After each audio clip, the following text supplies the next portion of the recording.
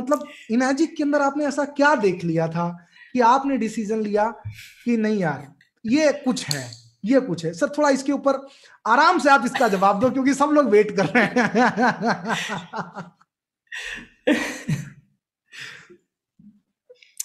You know uh, आपको हैरानी होगी जानकर कि शायद पिछले एक साल के दौरान सबसे ज़्यादा इसी सवाल का जवाब मैंने दिया है।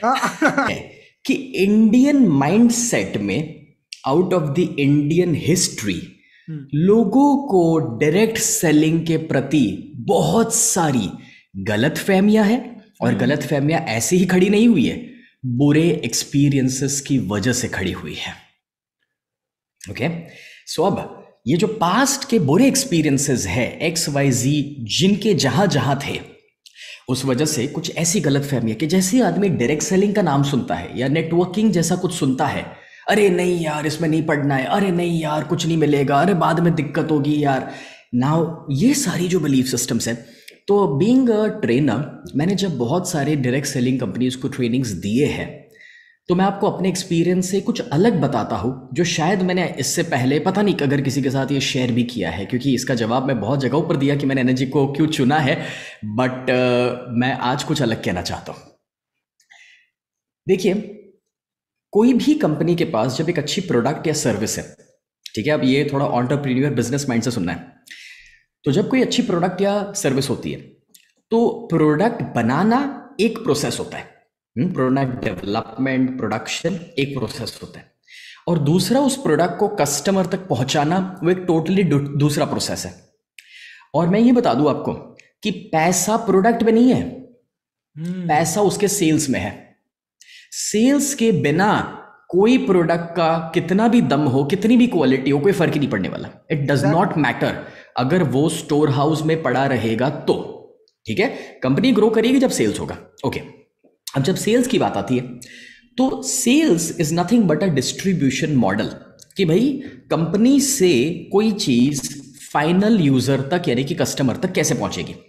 अब जब हम बात कर रहे हैं यहाँ पर कि भाई यू नो फाइनल यूज़र तक प्रोडक्ट को पहुंचाना है डिस्ट्रीब्यूट करवाना है तो there are different models of distribution there are different models of sales आजकल एक नया मॉडल मार्केट में आया है, सबने देखा होगा। डायरेक्टली सीधा ई कॉमर्स यू नो सीधा ऑनलाइन बेच देना प्रोडक्ट बनाया, सीधा आप ऑनलाइन से खरीद सकते हैं। ये कि ये मॉडल होता है। दूसरा मॉडल होता है कि जो आप डीलर डिस्ट्रीब्यूटर रिटेलर उस मॉडल में जा सकते हो जिसमें होलसेलर होता है फिर यू you नो know, एक डिस्ट्रीब्यूटर होता है फिर एक रिटेलर होता है वो एक दूसरा मॉडल होता है तो इस तरह से there are an number of models जो अवेलेबल है हम्म। जिसमें से एक मॉडल जिसमें से एक मॉडल है जो है डायरेक्ट सेलिंग का मॉडल यानी कि जब एक प्रोडक्ट बना तो एवरेज प्रोडक्ट आपको भी पता है कि जिस प्राइस पे बनता है और जिस प्राइस पे कस्टमर तक पहुँचता है उसमें गैप अवेलेबल है।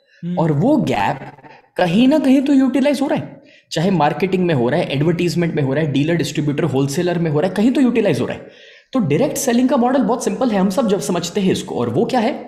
कि भाई कंपनी ने मैन्युफैक्चर किया प्रोडक्ट और जो वो गैप अवेलेबल था, वो गैप उसने अपने ही टीम के अंदर डिस्ट्रीब्यूट करवा दिया, जिसे हम इंडिपेंडेंट डिस्ट्रीब्यूटर्स कहते हैं। ठीक है? ओके अब इतना अगर कॉन्सेप्ट क्लियर है तो मैं अब आता हूँ कि जितनी डायरेक्ट सेलिंग अवेलेबल है उसमें से एनर्जी क्यों? जब ये सवाल है मेरे लिए तो मैं आपको इसका एक सही जवाब देता हूँ।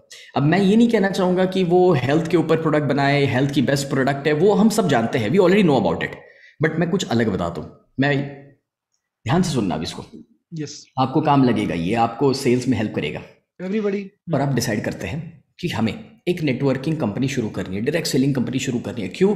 बोले, यार, बहुत पैसा है इसमें। मतलब बहुत जल्दी आगे बढ़ सकता है ऐसा आजकल लोग सोचते हैं और इंडिया में बहुत सारी कंपनी शुरू भी होती है।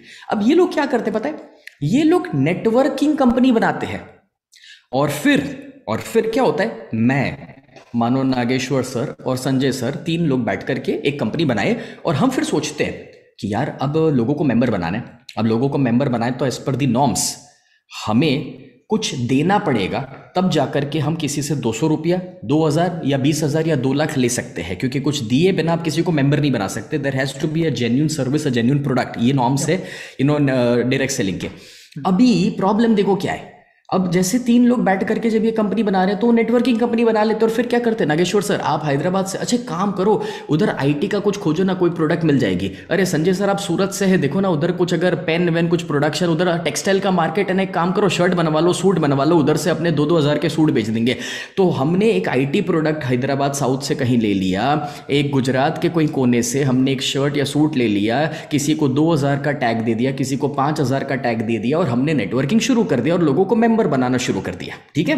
ये एक होता है नेटवर्किंग लेकिन इस नेटवर्किंग के ऊपर कभी भी डिपेंड मत करना, क्योंकि ये लोग बिज़नेस कर रहे हैं। इनका स्टेबिलिटी और फाउंडेशन जो है, वो प्रोडक्ट या सर्विस नहीं है। जहाँ पर जेन्यून प्रोडक्ट और लॉन्ग टर्म सर्विस नहीं है, वहाँ पर दोस्तों, अगर आप फंसोगे तो यू आर इन ट्रबल और जो बहुत बार हुआ है। अगेन हम किसी की बुराई नहीं करेंगे, क्योंकि अल्टीमेटली सभी अच्छे इरादे से अच्छा काम ही करना चाहते हैं। तो अगेन कोई पर्टिकुलर कंपनी की या लोगों की यहाँ पर बात नहीं हो रही है। बट मैं समझाना ये चाहता हूँ कि अब एनर्जिक पर आते हैं। एनर्जिक का हिस्ट्री पता है क्या है? एनर्जिक का हिस्ट्री ये नहीं है कि they are you know networking company no no no energetic आप हिस्ट्री पढ़ना। एनर्जिक वर्ड आया, उसके पहले का भी हिस्ट्री पढ़ना। और आपको पता चलेगा they developed a product and the product इतना दमदार बनाया, इतना ज़बरदस्त बनाया कि फिर जब वो प्रोडक्ट को अब डिसाइड किया गया कि अगर इतना दमदार है, अगर इतने लोगों को फ़ायदा दे सकता है, इतनी रिसर्च इसके ऊपर हो रही है तो ये प्रोडक्ट को डोमेस्टिक लेवल पर घर घर तक पहुंचाना है और फास्टेस्ट दुनिया में पहुंचाना है। और अगर फास्टेस्ट पहुंचाना है तो अब कौन सा डिस्ट्रीब्यूशन का मॉडल लिया जाए? ई कॉमर्स पे जाए।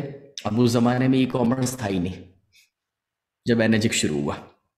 Okay okay? या फिर डीलर डिस्ट्रीब्यूटर होलसेलर में जाए। अब ये बहुत स्लो प्रोसेस होता है, क्योंकि हर देश में डीलर डिस्ट्रीब्यूटर होलसेलर बनाना बहुत स्लो प्रोसेस है एक्चुअली और इसीलिए Enagic chose the process of direct sales क्योंकि इसमें दो लॉजिक थे। ये फास्टेस्ट प्रोसेस है वर्ल्ड वाइड प्रोडक्ट पहुँचाने का। दूसरा, इस प्रोडक्ट के अंदर एनाजिक को डे वन से ये मालूम था कि ये दुकान में जाकर खरीदने वाली चीज़ नहीं है। It is a concept selling कि जिसको सामने वाले को समझ देना पड़ेगा नॉलेज देना पड़ेगा हेल्थ की अवेयरनेस देनी पड़ेगी तब वो समझ पाएगा कि इस प्रोडक्ट का पावर क्या है। क्योंकि दुनिया ने एक ज़माने में क्या देखा था? बस वो इंडिया में ना कपड़ा लगा के लोग पानी छान लेते थे गर्म करके पी लेते थे। फिर वो ज़ीरो फिर दूसरी तीसरी जो जो चीज़ें आने लगी वक्त के साथ।